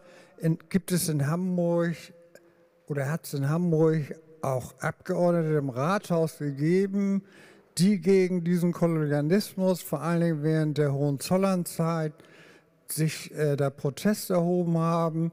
Immerhin gibt es ja diese Geschichte von, das war der August Bebel und das vom SPD und Zentrumspartei, das war der Matthias Erzberger 1907 beziehungsweise 1906 haben sie in einer Reichstagsabstimmung richtig gut Stimmung gemacht gegen diese Kriegsverbrechen, so haben sie es genannt, der Kolonialtruppen in, in, in Südwestafrika. worauf der Reichstag aufgelöst wurde. Und dann ging die Propagandamaschine los, dass äh, am Ende die Mehrheit verschwunden war. Auch innerhalb der SPD haben dann doch äh, viele für diesen äh, Beschluss, für die Kriegsanleihen sich entschieden.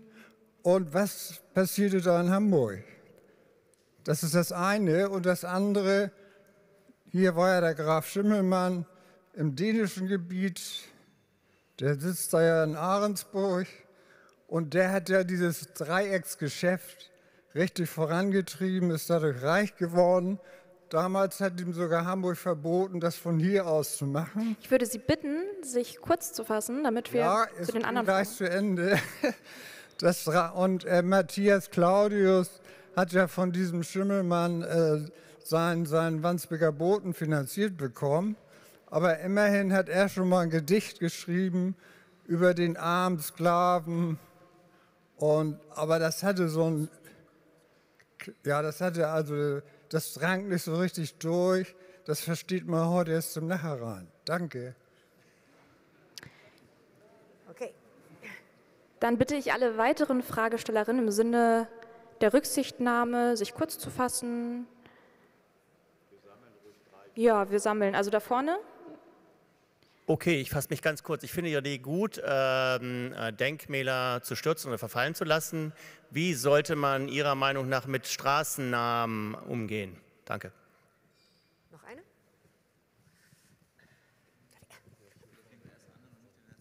Super. Wer war hier?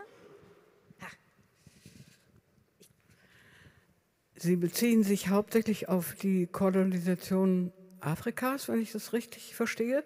Meine Frage ist, ähm, welche Forschungen, Ideen haben Sie zu den kolonialen Absichten hauptsächlich während der Nazizeit angefangen äh, gegenüber Osteuropa?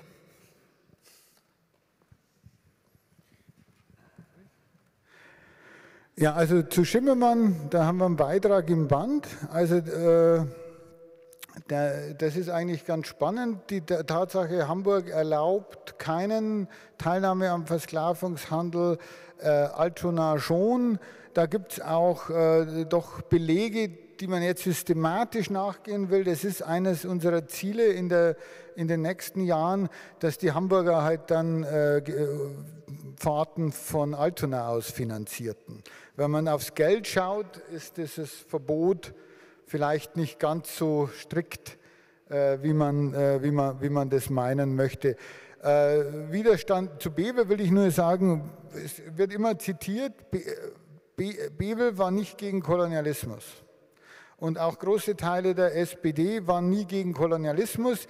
Die waren gegen das, was sie Kolonialexzesse nannten aber nicht gegen den Kolonialismus an sich, denn plakativ formuliert, irgendwie musste man ja arbeiten, das ist ja auch in, in, also ein sozialdemokratisches Credo und deshalb verfing diese Ideologie der Erziehung zur Arbeit auch. Also jetzt zu sagen, das wären grundsätzliche Gegner des Kolonialismus, wäre verfehlt.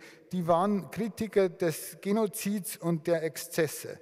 Jetzt ist die Frage, ob man der Hinweis auf die Kolonialexzesse nicht selber ein latent apologetisches Argument ist, weil ich der Meinung bin, dass der Kolonialismus an sich ein strukturell rassistisches Unrechtssystem ist und an sich ein Exzess. Und nicht das besonders Schlimme lehne ich ab, aber der Rest ist eigentlich, eigentlich okay. Straßennamen es ist einfach äh, meiner Meinung nach so, Straßennamen werden gesetzt von einem Kollektiv zur Identitätsstiftung. Und wenn ein Straßenname auf Kritik stößt, dann muss die Politik, Herr Hackbusch und andere, müssen entscheiden oder die Bürgerinnen müssen entscheiden.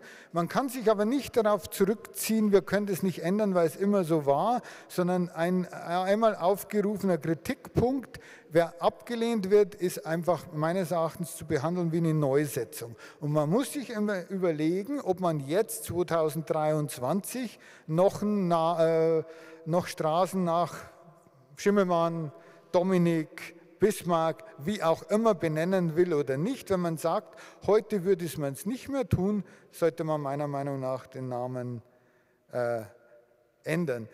Die Frage nach äh, der Ostkolonisation im, im, äh, im, Dritten Reich, das äh, glaube ich, kann ich jetzt nicht in der Kürze der Zeit äh, äh, beantworten. Meine eigene wissenschaftliche Position ist hinlänglich dokumentiert, dass ich der Meinung bin, dass der Krieg von 1939 bis 1945 eigentlich ein zweiter Versuch Deutschlands war, sich ein Kolonialreich äh, zu erwerben, allerdings in Osteuropa. Denn wie Hitler sagte, das hat den Vorteil, dass, die Royal, dass man nicht äh, übers Meer fahren muss und die britische Navy das nicht mehr unterbinden kann. Und da gibt es eigentlich zahlreiche Aussagen, dass man sagt, das ist jetzt im Grunde unser neues äh, Kolonialreich. Das im Einzelnen aufzudröseln, da gibt es jetzt eine neue Doktorarbeit, die äh, das an, an, Handelsfirmen macht. Das ist jetzt, äh, führt jetzt zu weit leider. Dann machen wir eine zweite Runde. Hm.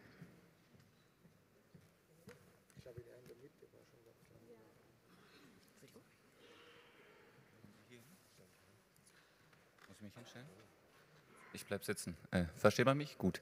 Ähm, wenn ich äh, darf, würde ich eine Frage ähm, nicht direkt zum Buch, sondern zum ähm, aktuellen Historikerstreit ähm, bezüglich des Holocaust und des Kolonialismus, ähm, an der Sie sich auch exponiert haben. Ähm, ja, dazu würde ich die Frage gerne stellen wollen. Und da würde mich interessieren, wie Sie gerade den, den gegenwärtigen Stand der Debatte sehen.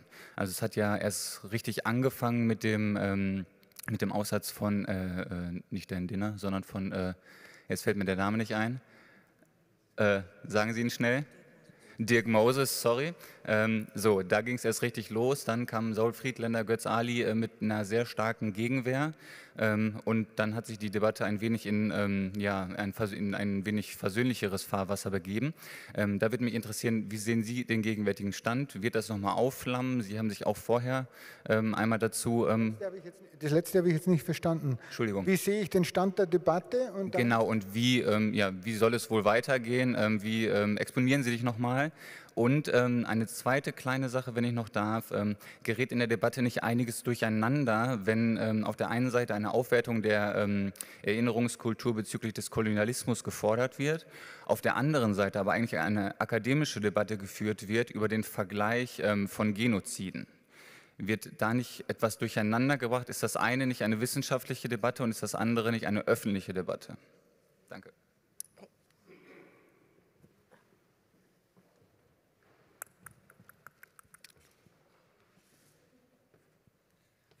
Jetzt. Arbeiten Sie zusammen in der Forschung mit anderen europäischen Ländern, die äh, ja fast alle auch Kolonien hatten? Ganz hinten noch eine Meldung.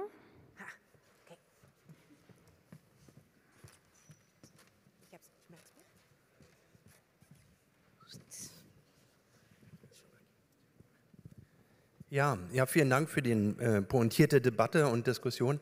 Ich hätte zwei Fragen. Zum einen ähm, äh, würde mich interessieren, wie es mit den anderen deutschen großen Hafenstädten, also Bremen, vielleicht auch Lübeck, ähm, in dieser Zeit 19. Jahrhundert, frühes 20. Jahrhundert ist. Also weil natürlich die Forschung der, der Forschungsstelle Postkolonial sich vor allem auf Hamburg beziehen. Das würde mich einfach nur als Wissen interessieren, wie weit spielt Bremen oder andere ähm, Hafenstädte vielleicht auch als Akteure, auch als Lobbyistengruppen dafür eine Rolle? Und als zweites würde ich gerne die Frage nach Osteuropa insofern nochmal aufgreifen, nicht unbedingt auf die NS-Zeit bezogen, sondern auch aufs 19. oder vorhergehende Jahrhunderte, weil natürlich gewissermaßen ein antislawischer Rassismus, antipolnischer Rassismus im 19. Jahrhundert ähm, bedeutsam ist. Auch da gibt es wichtige, gerade von Hamburg aus wichtige Handelsverbindungen nach Osteuropa in den Osten.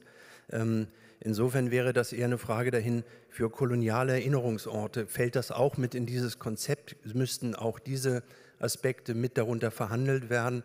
Oder ist dieser Begriff koloniale Erinnerungsorte im Wesentlichen auf das, was heute vor allem als globaler Süden bezeichnet wird, bezogen?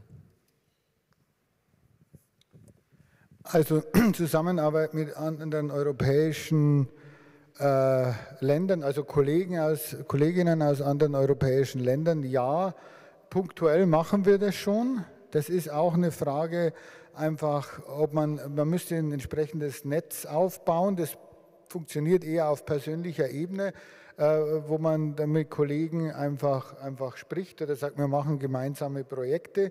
Da gibt es jetzt kein, keine systematische Zusammen, äh, Zusammenarbeit bisher. Äh, das ist auch eins der Ziele, das ich eigentlich hätte, wenn die Verstetigung der Forschungsstelle passiert wäre jetzt, wie es eigentlich im Plan eigentlich war, zu sagen, und dann kann man eben auch diese Netze aufbauen. Es ist natürlich jetzt auch ganz generell schwierig, wenn man jetzt zwei Jahre Finanzierung hat, ist es halt problematisch, irgendwas Dauerhaftes aufzubauen, weil alles einfach, einfach, einfach Zeit kostet und man für die Partner bei Projekten jetzt äh, europäische oder DFG, also europäische in dem Fall, äh, natürlich auch nur interessiert ist, wenn man nicht sagt, in zwei Jahren sind wir weg. Also deshalb wäre der erste Schritt zu sagen, wie geht es mit der Forschungsstelle weiter? Will Hamburg sich diese Forschungsstelle quasi weiterführen? Dann, dann kann man, äh, kann man äh, Sachen äh, aufbauen. Zu Bremen, äh, Lübeck und Kiel bin ich jetzt äh, direkt überfragt, weil ich dann als Außenstehender auch gemerkt habe, dass die Bremer richtig begeistert sind, wenn man sagt, also wir haben eine Forschungsstelle Hamburgs postkoloniales Erbe, wir machen Bremen mit. Äh, und, und, und, und, Lübeck, das hat nicht so bisher funktioniert, da haben wir eher Kontakte mit dem Überseemuseum, da haben wir einfach was gehabt. Der Bereich Osteuropa, das ist, das ist ein wichtiger, wichtiger Hinweis, weil man natürlich in unserem Konzept der kolonialen Verflechtungsgeschichte ja immer auch bei Waren schauen muss, wo kommen die her, wo gehen die hin. Und das beginnt ja auch nicht in Hamburg. Also das sind ja Umschlagspunkte, die dann wieder, wieder in den Ostseeraum gehen oder, oder, oder woanders hin, dass man auch das eben äh, weiter erforschen muss. Nur wie gesagt, äh, wir hatten jetzt schon gut zu tun, äh, das jetzt mal zu skizzieren und haben viele Ideen, wie man das weiterführt und äh, hoffen jetzt, dass irgendwann die Entscheidung kommt, dass wir auch das nötige Geld dafür haben, diese Forschungen angehen zu können. Weil die Themen gehen uns nicht aus, weil es wirklich eben diese, diese, diese, diese Verflechtungsgeschichte ist. Ob man jetzt an der Stelle auf zwei Minuten zum Historikerstreit 2.0 eingehen will und wissenschaftliche Debatte oder nicht, äh, ich wundere mich auch, warum eine wissenschaftliche Debatte, die im Wesentlichen vor 15 Jahren entschieden wurde, plötzlich eine, eine politische Debatte geworden ist. Ähm, es hat äh, wahrscheinlich auch mit Identitätsstiftung heute zu tun. Ähm, das, das kann man lange diskutieren. Ich äh, teile die Ansicht nicht, dass der Historikerstreit 2.0 mit dem Aufsatz von Dirk Moses begonnen hat. Der hat wesentlich früher begonnen. Äh, das ist aber jetzt eine Frage, weiß ich nicht, können wir gerne machen, kann ich ohne Probleme eine Stunde drüber reden, äh, ob das jetzt die Mehrheit der Anwesenden ausreichend interessiert und was an, an, an Vorwissen jetzt eigentlich da ist. Äh, nicht bei Ihnen, da ist es offenbar da, aber, aber, aber im Saal, das kann ich jetzt schwer, schwer einschätzen. Meiner Lesart nach, vielleicht ist kurz, ist es so, dass äh, im Grunde, wenn man sich anschaut, äh, ja, ich fange gar nicht an. Das wird äh, je nachdem, also entweder 20 Minuten oder, oder, oder, oder, oder gar nicht, sonst ist es schwierig.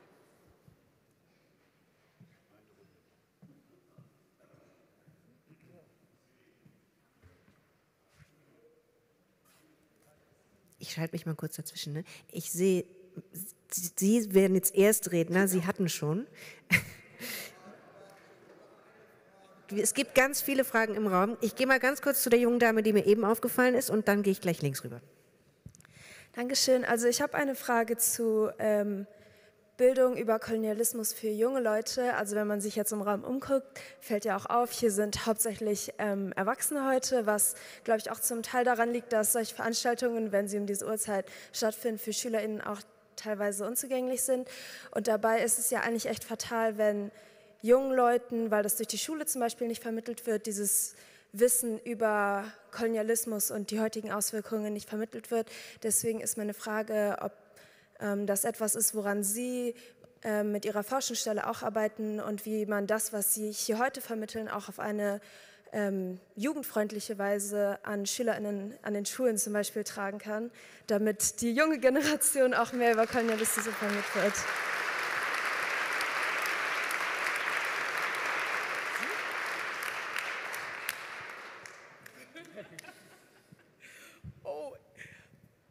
Eigentlich rede ich so gerne davon. Ähm, ich bin Judith, ich komme aus Suriname, eine ehemalige niederländische Kolonie. Bin, bin vor elf Jahren nach Deutschland gekommen, von wegen die deutsche Sprache. Die geht über die Seele. Oh mein Gott, ich bin total aufgeregt.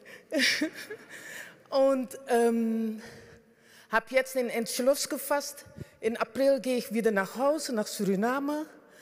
Ähm, habe eigentlich das letzte Jahr, habe ich daran geschrieben, ein äh, Curriculum geschrieben, wie man eigentlich von unserer Seite uns ähm, belichtet sozusagen. Ein Zeitleiste, die parallel geht die parallel läuft mit der europäischen Geschichte, aber auch von unserer Sicht aus. Ähm, für, für, Schulen. Ich habe das an ganz viele Schulen geschickt, aber ich habe nichts gehört und ich denke, erst ist, soll die Drang sein, dass man etwas aufarbeitet, die Hunger muss da sein dann kommt vielleicht ähm, die Offenheit, dass man eigentlich ein, ein, ein Dialog, das da entsteht oder ein Zugang ist für, für mich und Menschen, die hinter mir stehen, meine, meine Vorfahren sozusagen. Und ähm, ich habe Vertrauen da drin, aber ich kann das nicht abwarten. Am, in, in April gehe ich zurück. Vertrauen habe ich da drin, wo ich denke, dass das, wie gesagt, über die Seele geht und die Hunger nach Aufarbeitung ist an der Seite der Europäer da. Und ähm, das wird dann auch gefüttert, die, dass, dass, ähm, die, dass die Heilung dann stattfindet. Und hoffentlich ähm, kann ich meinen Teil äh, beitragen, sozusagen.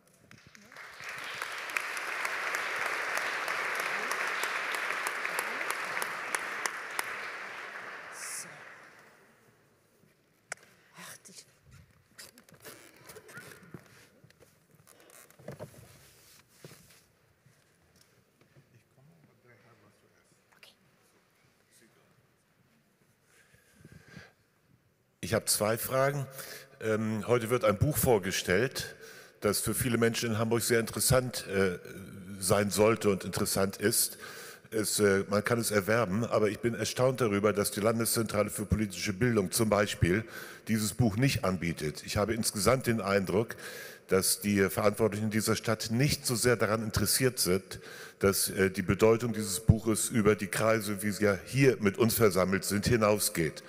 Ähm, vielleicht kann ja auch Norbert Hackbusch jemand was dazu sagen. Ich würde das für dringend erforderlich halten, äh, dieses Buch zugänglich zu machen. Ich könnte es mir leisten, aber es gibt viele Menschen, für die äh, alleine es vom Preis her ein Problem ist. Und es gibt unglaublich viele Bücher kostenlos in der Landeszentrale, die nicht so bedeutsam sind wie dieses Buch. Zweitens, viel wurde bei Bismarck.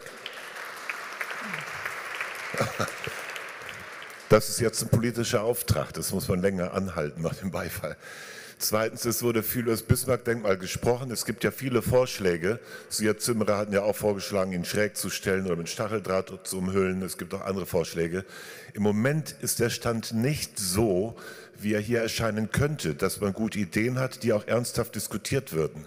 Es wird ja in den nächsten Monaten ein Wettbewerb stattfinden zu diesem Denkmal.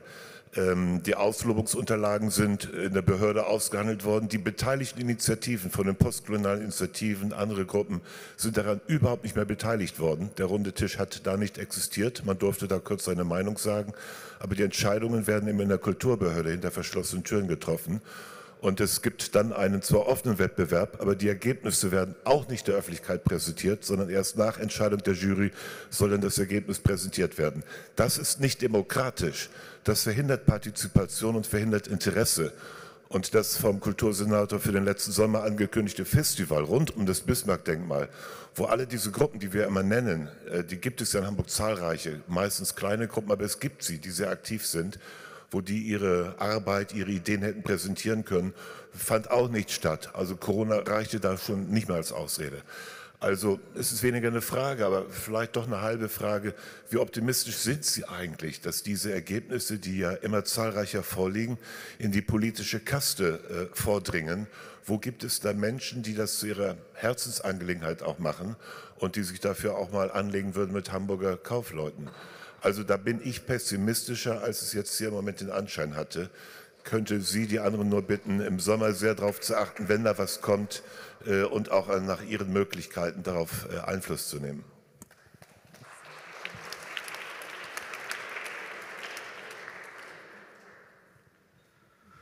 Ja, ich fange jetzt mal mit, mit dem Bereich Schule an und subsumiere da die zwei Fragen nach dem Curriculum und nach der. Ich finde auch, es muss in die Schulen rein es scheitert nicht an uns, dass äh, wir unser Wissen nicht zur Verfügung stellen. Das auch gleich jetzt zur Landeszentrale scheitert mit Sicherheit nicht an uns, dass das Buch nicht bei der Landeszentrale ist. Wir haben auch wirklich versucht, den Preis so zu gestalten, dass man es noch kaufen kann, was dazu geführt hat, dass die AfD jetzt eine Anfrage gestellt hat und kritisiert, ob das Buch subventioniert wird. Natürlich subventioniert, weil es sollte ja, sonst kostet das Buch ja 80 oder 90 Euro. Wenn man es wenn man's nicht, wenn es eine reine wissenschaftliche Publikation ist, dann liegen wir bei fast im dreistelligen Bereich bei so einem dicken Buch, muss man, muss man auch sagen. Die Schulen sind zentral.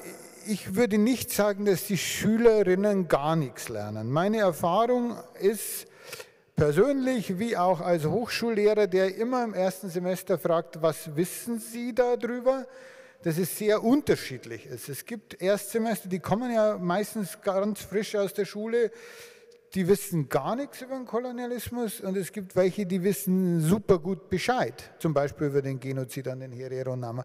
Wenn man nachfragt, liegt es an der individuellen Lehrkraft. Da gibt es wahnsinnig engagierte äh, äh, Leute, die wirklich super, super Job machen. Das Problem ist, dass es nicht in den Lehrplänen, in den Curricula ist und dass es quasi nicht, nicht gezwungen wird, dass man, äh, dass man im Grunde das in, in der angemessenen Breite unterrichtet. Jetzt kriegen wir viele Anfragen, immer mehr auch von Schulen oder Lehrerfortbildungen, Stadtführungen machen, Aufklärung. Wir machen das soweit wir können. In dem Konzept, das ich geschrieben hatte, eigentlich wie ich mir die Zukunft der Forschungsstelle vorstelle, war eben auch eine Planstelle drin für jemanden, der das betreut, der das macht, der, damit wir quasi das Wissen, das wir erarbeiten, auch weitergeben können.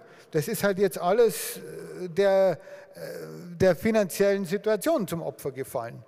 Und, und es ist halt so, man, dass man dann einfach, müssen wir leider jetzt allmählich auch Nein sagen, weil wir sagen, wir können es aber nicht mehr gestemmt kriegen. Wir werden mehr nachgefragt, das Interesse ist größer, sieht man ja auch heute, als das, was man, das man eigentlich institutionell anbieten kann. Jetzt muss ich auch sagen, ist auch zu der Frage mit Bismarck, die Forschungsstelle wird finanziert von der Wissenschaftsbehörde. Punkt. Nicht von der Schulbehörde, weiß nicht, ob die irgend, irgendwas macht in dem Bereich, nicht von der Kulturbehörde, ausschließlich von der, äh, von der, von der Wissenschafts, Wissenschaftsbehörde. Und ich frage mich, der, die, die Schulbehörde hätte ja bestimmt auch den einen oder anderen Groschen, um ihrerseits Fortbildungen anzubieten. Also das Know-how, das Wissen stellen wir gerne zur Verfügung. Aber es müsste halt nachgefragt werden und es, es müsste halt irgendwie auch äh, so unterfüttert werden finanziell, dass man es leisten kann, weil ich muss auch sagen, also ich, klar kann ich meine Mitarbeiter bitten, das auch noch zusätzlich zu machen. Und natürlich brauchen wir ja gar nicht reden, wie die Verhältnisse an der Universität sind. Ist es für Mitarbeiterinnen dann nicht immer ganz einfach, meine Bitte auf freiwillige Mehrarbeit abzulehnen. Aber genau das mache ich nicht, weil äh, dann ein Ausbeutungsverhältnis den Mitarbeitern gegenüber einfach eintritt. Und, und das, das, führt dazu, dass man dann manche Sachen nicht machen kann. Das heißt, wenn es der Stadt ernst ist, müssten eben auch andere Behörden wie die Schulbehörde sagen, auch wir müssen unser Schärflein beitragen für die koloniale Aufarbeitung der Stadt und übrigens auch für die Dekolonisierung des Schulwesens, was jetzt mit uns gar nichts zu tun hat, sondern mit, mit ganz, ganz anderen Problemen. Und jetzt zum Bismarck, also wir sind auch nicht eingebunden in der Ausschreibung des Wettbewerbs zum Bismarck-Denkmal oder wie auch immer. Wir dürfen zum runden Tisch gehen, wie alle anderen auch. Ich habe das eingestellt, weil warum sollte man da noch hingehen? Aber ja, das, das, das ist der Stand. Wir sind dann nicht jetzt irgendwie die, die, die engsten Berater dieser, dieser, dieses Prozesses, sondern wir machen von der Wissenschaftsbehörde finanziert die wissenschaftliche Aufarbeitung, sind sehr dankbar, dass die Wissenschaftsbehörde das macht, weil sonst wären meine Mitarbeiter, ich, ich bin ja angestellt von der Uni, also meine Stelle ist es nicht, über die wir hier reden, sondern die meiner, meiner Mitarbeiterinnen, sonst wären die weg weil, weil die sich halt dann was anderes suchen. Und ich finde es jetzt schon fast eine Zumutung, denen sagen zu müssen, bleibt noch da, jetzt haben wir einen Zweijahresvertrag. Aber seid schon froh, dass ihr nicht nur einen Sechsmonatsvertrag habt. Da reden wir jetzt über prekäre Verhältnisse ähm, am, am, Mittelbau der Universität. Ja, und, und da muss man halt auch irgendwann rauskommen, weil man äh, dann eigentlich auch eine, auch eine ethische oder moralische Verpflichtung hat, den Mitarbeiterinnen gegenüber zu sagen, naja, okay, dann lassen wir es halt sein. Also wie gesagt, ich glaube, wir versuchen es jetzt noch mal zwei Jahre und wenn nicht, muss man halt sagen, naja, irgendwann macht es Berlin und freut sich und wird berühmt damit und Hamburg kann sagen, ja, hätten wir auch haben können, aber wollten wir halt nicht. Ja.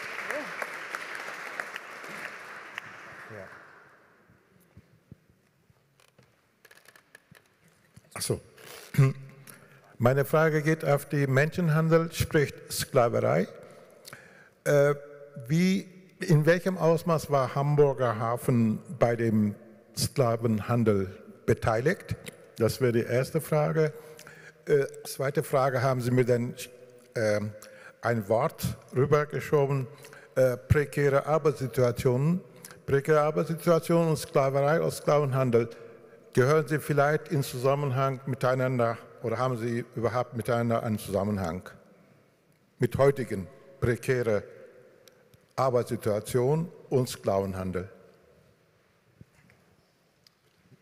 Letzte Frage. Ich glaube da vorne. Ja. Ach so. Ja, drei Anmerkungen.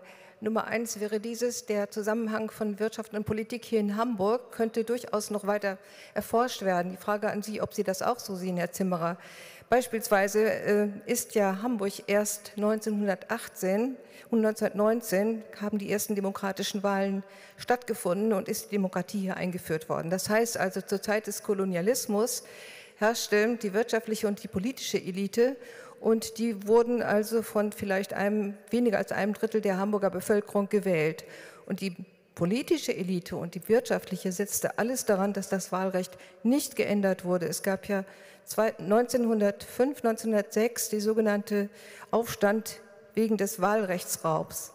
Und da waren die Eliten der Wirtschaft, unter anderem Ballin, auch Wörmann, sehr dafür, dass dieses Wahlrecht nicht erweitert wurde und dass alles beim Alten blieb, damit sie genau das durchführen konnten, was sie eben machten, eben auch Profit aus dem Kolonialwirtschaft ähm, zu ziehen. Aber ich habe noch eine andere Frage. Zweite, im Augenblick ist ja das Buch rezensiert worden in der Zeitschrift des Vereins für Hamburgische Geschichte von einem sogenannten Herrn Anderhand. Ich habe versucht zu recherchieren im Internet und habe festgestellt, dass er keine historische Ausbildung hat. Und mir scheint, dass diese Rezension genau davon auch spricht. Sie ist handwerklich ganz schlecht gemacht, keine Zitate sind richtig und die Behauptungen, die er aufstellt, gehen ins Leere, weil er sich nicht mit dem Konzept, mit der konzeptuellen sozusagen ähm, Theorie und so weiter auseinandersetzt und verkürzt darstellt und zu einem Urteil kommt, das besagt, dass Sie, Herr Zimmerer, sozusagen aus persönlichen Gründen jetzt diesen Postkolonialismus so hochhalten und die Autorinnen und Autoren sozusagen sich gezwungen fühlen, dem auch nachzugehen. Ich finde das eine unglaubliche Art und Weise, mit diesem Buch und mit einer wissenschaftlichen Arbeit umzugehen. Und ich äh, verstehe überhaupt nicht, wieso das möglich ist, dass so eine Rezension überhaupt erscheint und würde Sie fragen, äh, wie stehen Sie dazu? Es gibt ja auch eine interne Diskussion.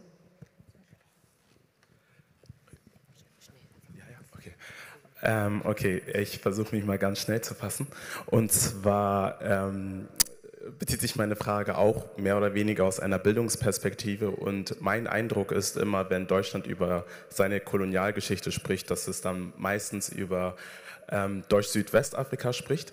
Und meine Frage ist im Grunde, was ist in der Wissenschaft sozusagen noch zu erwarten? Und die Frage nach dem Warum, dann ist wahrscheinlich immer wieder die Antwort aufgrund der ähm, Quellenlage. Aber genau, wie kann man einen Diskurs schaffen, wo es nicht nur um Deutsch-Südwestafrika geht, beziehungsweise wo er so ähm, diskutiert wird, sondern wo auch andere Bereiche, die von Deutschland oder vom Deutschen Reich kolonisiert wurden, auch an die Oberfläche geraten. Genau.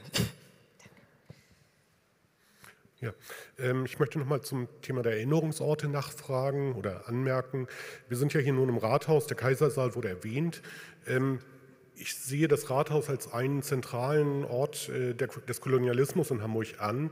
Wie gehen wir mit diesem Ort zukünftig um? Machen wir ein Museum draus oder müssen wir es verfallen lassen?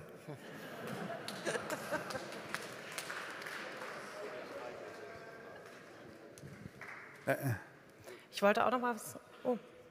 Hallo, also einmal wollte ich mich bedanken. Ich bin äh, eine der Lehrerinnen, die eine Stadtführung bei einem ihrer Kolleginnen machen durfte.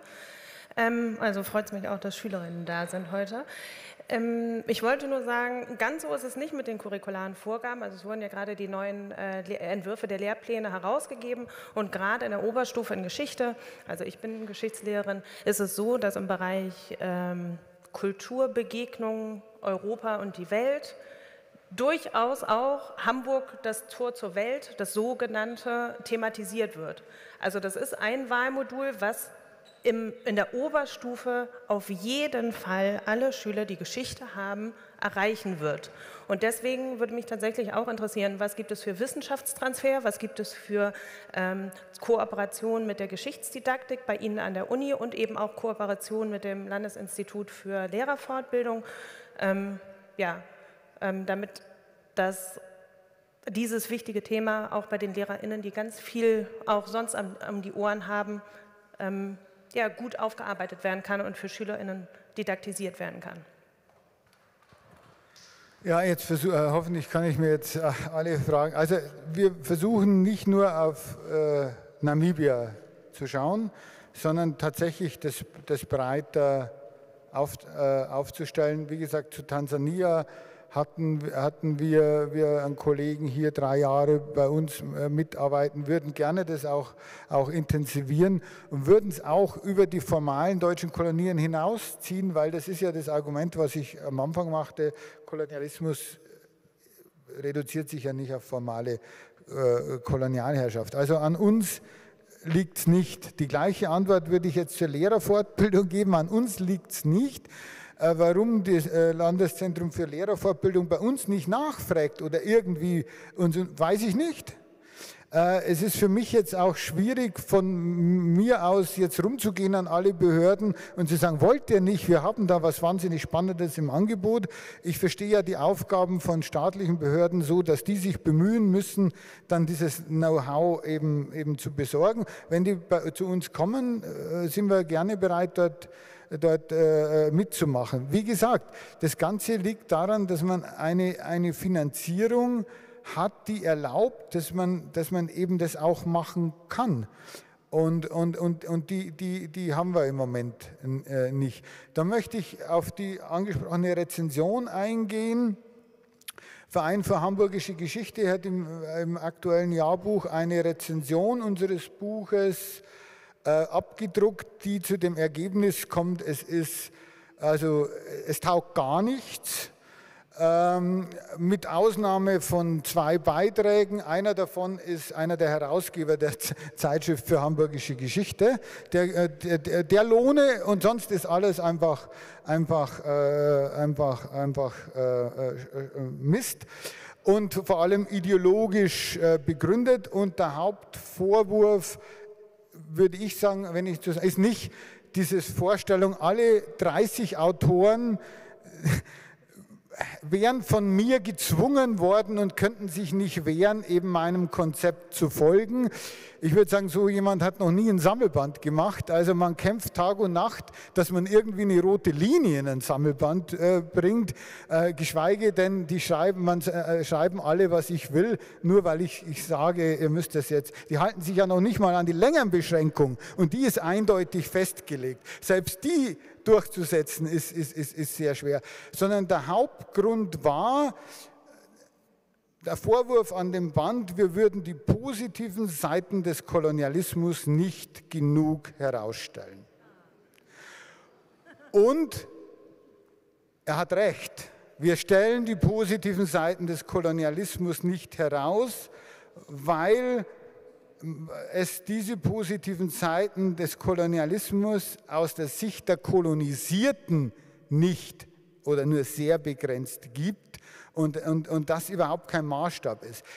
Das führt dazu, dass ich diese Rezension eigentlich als kolonialapologetischen äh, Hitjob äh, verstehe, um uns zu diskreditieren, und zwar in der Debatte der, um die Verlängerung der Forschungsstelle kommt jemand und spricht uns die Wissenschaftlichkeit pauschal ab, weil wir nicht, jetzt sind wir wieder Uwe Timm, ne? wir haben zu wenig über den Straßenbau der, und den Eisenbahnbau geredet, der ja ach so, äh, so toll war für, für, für die Kolonisierten. Nein, haben wir nicht und werden wir auch nicht tun. Wie diese Rezension, erstens, wie diese Rezension im Verein für Hamburgische Geschichte abgedruckt werden konnte, verstehe ich nicht. Warum der Verein für Hamburgische Geschichte in vier Wochen nicht geschafft hat, äh, die Frage zu beantworten, wie konntet ihr abdrucken? Wir haben online, äh, der Kollege Tozzi, dem Zitate in den Mund gelegt wurden, um ihn zu verreißen und zu diffamieren, die er nie getan hat. Ja? Und ich haben Gegendarstellungen geschrieben auf unserer Webseite. Meine Gegendarstellung wird nicht auf die Webseite des Vereins für Hamburgische Geschichte gesetzt. Es wird nicht irgendwie darüber uns geantwortet. Das verstehe ich jetzt eigentlich auch nicht. Außer, würde ich sagen, dass Teile des Vereins für Hamburgische Geschichte offenbar hinter dieser Rezension und hinter dem, ihr habt zu wenig die positiven Seiten des Kolonialismus herausgearbeitet, stehen. Ja, dann ist es so. Die AfD mag uns auch nicht, ist halt so.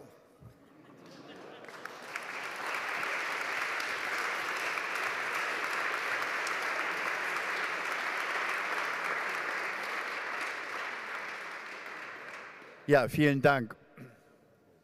Hört man mich? Ja, also, das war doch schon mal ein kräftiges Schlusswort, weil wir auch gehört haben nach dem Motto, wir haben Streit in dieser Stadt und wir brauchen diesen Streit auch, weil wir ja auch feststellen an dem heutigen Abend, es gibt etliches noch zu tun. Wir haben ja festgestellt, wie viele freie Stellen noch da sind, die alle zu behandeln sind, sowohl inhaltlich wie im Zusammenhang mit dem, was in den Schulen zu machen ist. Wie besonders die Sache, Situation nochmal Herr Wörmann. Da wird ja auch ein Buch in Bälde erscheinen, die vielleicht eine gute Möglichkeit ist, das nochmal hier genauer zu besprechen. Die Frage der Sklaven äh, im Zusammenhang mit Altona auch sicherlich ein unheimlich spannendes Thema, wie eben auch viele andere Punkte, die jetzt hier noch benannt worden ist. Alleine die Situation in Wandsbek, wo seit Jahren wollen wir sagen, wichtige Institutionen da sind, was ja auch unser Titelbild äh, für diese Veranstaltung gewesen ist, um einfach darzustellen, die Geschichte auch des Kolonialismus, gerade in dieser Stelle bei den Askari-Reliefs, finde ich immer noch eine Schande, dass das gegenwärtig nicht richtig gezeigt wird. Das heißt, es ist noch viel zu tun.